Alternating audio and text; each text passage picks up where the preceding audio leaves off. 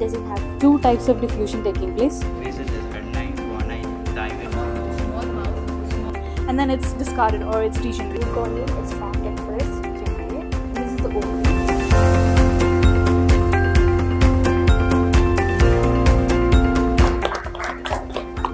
So congratulations to each one of you and to the teachers, to both and the entire department I would say.